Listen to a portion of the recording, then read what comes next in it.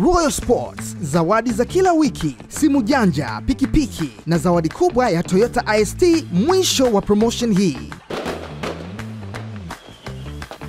Ushindi wa bao moja kwa sufuri dhidi ya Namungo Football Club. Bwana, ule mnalo wa 5G tulikuwa tunautegemea kuona hapa Chamazi, leo umesisia. Vipi?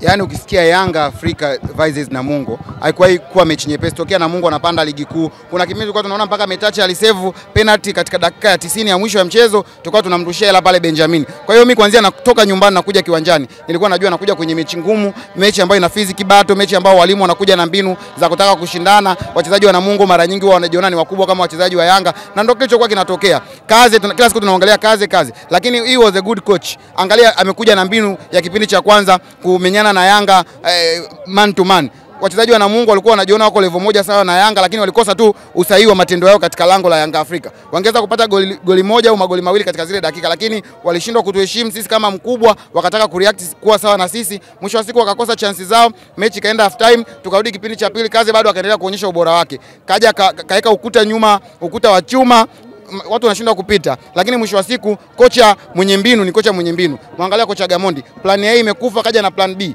Kila siku tunamsifia ni kocha mzuri, kuanzia kwenye substitution na tukosei. Tumetoka kwenye mchezo wa away wa ligi ya mabingwa barani Afrika, amefanya substitution ambayo imezaa goli. Leo amefanya substitution ambayo imezaa goli kwa Mudathiri haya. Kwa hiyo ni ubora wa kocha, ubora ubora ubora mpaka tumepata matokeo leo. Goli moja sio haba. Unataka kujua ugumu wa goli moja, eh, goli zile tano tulikuwa tunashinda ni pointi tatu na hili moja tumeshinda leo ni pointi tatu. Kwa hiyo lazima umshukuru Mungu. Tunatoka tumechoka, lakini tunatoka na pointi zetu tatu zote kibindoni. Mategemeo sio hayo ya kuvuna goli moja toka tumeanza kuzungumza na nyinyi wananchi kabla ya mchezo huu. Kipi ambacho umekivuna ukiangazia kikosi chako cha Young Africa katika mchezo huu leo? Ya, lazima ushukuru kwanza hilo goli moja kabla ya kuanza kuongea mambo mengine. Yanga leo actually hatakuwa good vizuri kiwanjani. Kila siku nawaambieni hapa moyo wa Yanga ni Max Nzengeli mpia. Leo Max hakuwa na siku nzuri katika kibarua chake kazini pale uwanjani. That's why umeona Yanga tuna struggle kupata magoli. Sio kwamba tulikuwa tunashindwa kufika langoni kwa Namungo. Tulikuwa tunafika lakini tulikuwa tumpati mtu mwenye vision ya kujua mpira kabla hujanifikia ni uweke kwa nani na afunge au nitoe assist au nifunge mimi. Kwa hiyo kukose, kukosekana kwa ubora wa Max kiwanjani unaiathiri Yanga. Leo mmeona mwenyewe kwa macho yenu. Max alikuwa anahangaika kiwanjani, ajui mipira yake wapi. Hiyo ni obvious kwa mchezaji inatokea kiwanjani. Messi kuna nyakati ana mbaya, Ronaldo kuna nyakati pia anapitia mbaya kiwanjani. Kwa hiyo simlaumu kwa sababu tumepata pointi tatu. Tunaangalia mechi inayokuja dhidi ya IF kule away Mbeya yoyote anafunga, ndio slogan ambao wanayanga mnaisema, lakini nikiuangazia mchezo huu wa leo niliona kama namna moja ama nyingine kulikuwa na uhitaji wa kuwepo mshambuliaji ambaye angejaribu kutengeneza matokeo mazuri katika kikosi kulingana na nafasi ambazo timu ilikuwa inatengeneza. Kwa upande wako, nafasi ya ushambuliaji umeiona umuhimu wake ama bado mnasema yoyote anatosha kufunga? Kweli lazima tuwe wawazi, Young Africans upande wa forward line hatuko vizuri. Clement ni yule yule anapata chance anashindwa kufunga, tunamuelewa kwa sababu ya umri wake.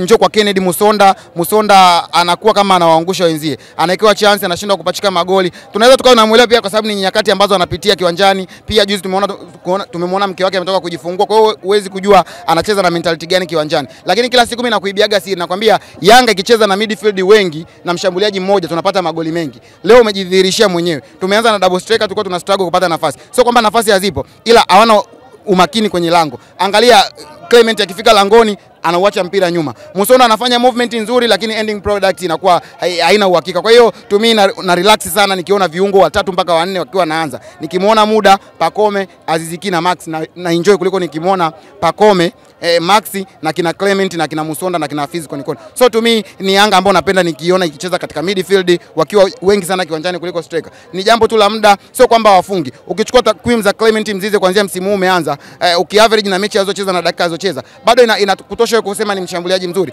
Ni nyakati tu nzuri hawana kiwanjani, eh, na sio kila siku zinatokea kiwanjani. Mechi hii wanafunga, mechi na ukuja wafungi. Kwa hiyo tumwombe tu Mungu waendelee kuwa vizuri. Tunaona tuna, tuna mwalimu wa viungo vizuri. Eh, Aucho anayeanza sio Aucho anayemaliza. Obvious class siku nakwambia. Kwa hiyo ni jambo tu la kumwomba Mungu, tumelokota pointi tatu si haba. Acha tuangalie mechi inayokuja dhidi ya IF na mechi ya, ya weekend dhidi ya Elmerek ya kuja kutamatisha safari yetu kwenda kwenye makundi. Na hiko ndicho tunachojaliwa kukiangazia. Tunauzungumzia mchezo huu wa leo, tukiangazia mchezo wenu wa marudiano dhidi ya Elmerek ya kule Sudani. Vipi wananchi? Hatua ya makundi miguu yote itaingia ama bado kuna ukakasi? Yes, unaweza ukasema ni karibu 65% tuko ndani ya, ya group stage ya CAF Champions League. Kwa sababu gani? Tumetoka kwenye kiwanja cha away tumeshinda magoli mawili. Kushinda magoli mawili away sio magoli machache sana. Ukitaka kujua ni magoli yenye, yenye umaana sana. Simba wamedraw mbili mbili, lakini ya, ile mbili inawapa confidence. Sasa ashumu Young Africans tuliopata magoli mawili kule away mimi bado nitakuwa mtu wa mwisho kuamini kwamba Yanga hatutaenda hatua ya makundi this season. Anything can happen kwenye football, lakini kwa magoli tuliyoyapata, kwa mpira tunaocheza, kwa mpinzani tuliokutana naye yuko vile amechoka, na imani tunaenda this time kwenda katika group stage ya CAF Champions League. Kipi ambacho mnakihitaji wananchi kukiona labda pengine labda kiende kifanyiwe suluhisho ili kiwape matumaini makubwa ya kuwa na mategemeo ya ushindi katika michezo yenu ijayo? basi katika mtihani ambao anao kocha Miguel Gamondi mkubwa sana ni kuwapika wale kina Clement Mzize, Hafiz Konikoni na Kennedy Musonda waweze kupachika mipira nyavuni. Kila kitu kama kocha ameshamaliza kwa kina Max, kwa kina midfield. Kwao ni jambo tu la muda, tuombe tu mwalimu akae nao vizuri mentality. Sometimes hizo mchezaji anashindwa kufunga, hayuko vizuri, ila mambo yanayokuwa nyuma yake, na imani mwalimu, viongozi wa Yanga wakitimiza baadhi ya vitu ambavyo tunaona kidogo vina miss kwenye club, watapata magoli. Mtu kama Skudu Makudubela kila siku najiuliza why arudi kiwanjani wao ndo wana sababu. Unapomwona Clement anaanza wakati Avic Town ana train na kina Hafiz Konikoni, ujue labda Hafiz hajatosheleza kwa mwalimu. So to me, acha nione mwalimu atafanya nini. Ni mapema sana kuanza kumjaji mwalimu kwamba hivi na hivi na hivi. Ni mapema sana kusema Skudu amefeli Yanga Afrika. Ni mapema sana kusema ma, ma, strike force ya Yanga haifungi. Acha kidogo tufike ka- e, raundi ya pili ya mzunguko wa pili wa ligi,